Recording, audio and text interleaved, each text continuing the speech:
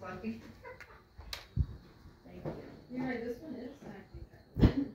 Right, so I was having a difficult. It's like you have to go, mm. I know, I was using both hands.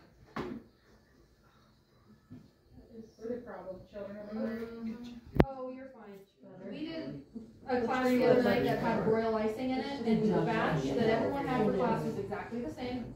And for some people, the royal icing was perfect and stiff and stayed right where it was, and then other people it So what's the difference between the royal icing and the, um, corn syrup? This is a little bit more forgiving, and it doesn't, it takes much, I don't wanna say it takes longer to dry, but it's easier to work with.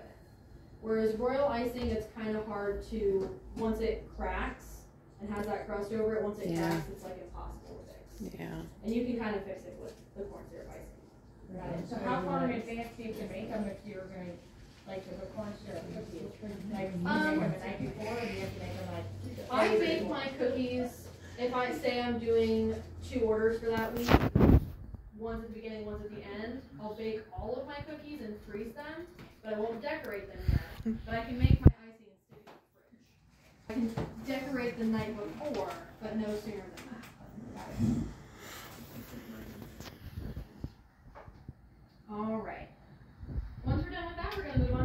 ornament.